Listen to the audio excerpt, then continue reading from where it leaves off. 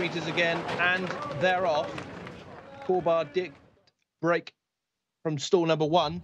Yellow Sleeves from Ovilla was a little bit awkward, and so too the dart jacket of Asalat Farhad, one of the maidens towards the rear of the field, and pushed along at the back is Mathael.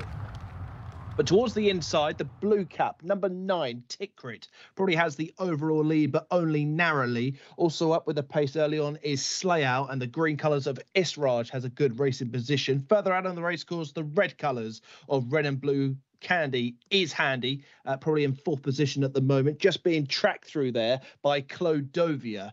Uh, further out of the racecourse, the orange and blue of Al Sahira is probably about sixth or seventh at the moment, followed by the red sleeves of Miss Fihalea. Uh, towards the rear of the field, still spot the blue blinkers of Mathael and also Asalat Farhad is one of the back markers as they go down the side of the course and they've gone past halfway. It's Alex Moreno and Israj in the green colours, tracked every move by red and blue candy. They're going stride for stride, these big two in the market. Between that pair, though, we have the white cap of Tawakar who gets the first mention, and down the outside comes Tatul Al Gayam. It's between these four at the moment. Clodovia's silver jacket in fifth position, being pushed along and chased along is Slayel. The one that's making ground from out of the pack now is Corbar the Grey, but moving into fourth or fifth position as they go inside the last 200, having a real set two here is Israj on the far side of Tawakar, who begins to wander around but Israj is in front by a length and a tail. Israj just holding on from Tawakar. Alex Moreno told us it's a double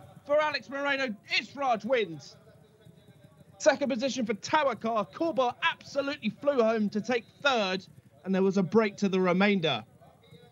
When Alex talks, everybody should listen. Double up for Alex Moreno, and oh so unfortunate.